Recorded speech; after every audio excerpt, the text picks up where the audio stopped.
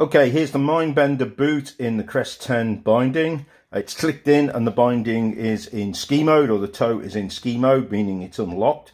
Um, so what this is now doing is replicating a forward fall where the heel of the boot releases first as though you're going forward over the handlebars. And what should happen is the toe of the boot will release the binding. So it pushes down on the lever and it clicks out and it releases nice and easily. So that's exactly how the binding should work. If we put the boot back in the toe, and now we're going into tour mode. So the lever comes fully up. So this would be where you're um, skinning along.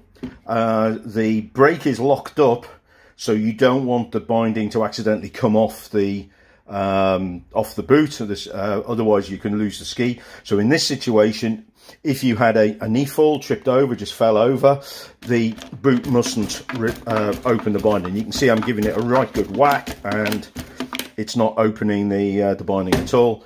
Put it, put the toe back into ski mode and it pops out. So this binding's working perfectly with this, uh, with this boot.